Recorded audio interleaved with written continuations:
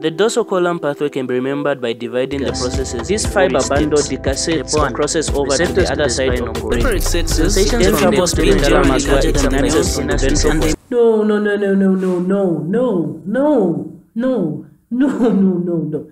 What the heck was I doing? Ish. This was like what 2021. I was in fourth year at that point. It's been like two years. I'm now in sixth year of medical school, and I'll still continue making some videos on this channel uh, relating to science, physics, math, medicine. I don't know. Whatever it is, they'll be a little bit more spontaneous. But they were too serious. They were too serious, and I've passed through so many things. I've seen so many messed up things in the hospital now, and I guess life is too short to be too serious even when making these videos. So uh, starting from now, the videos I'll be uploading here will be a lot more heart-filled, joyous, with some science to them, but not that that serious, man. The fasciculus gracilis moves and decussates at the spinal pons and the spinal cord at level C5. What the heck was I talking about?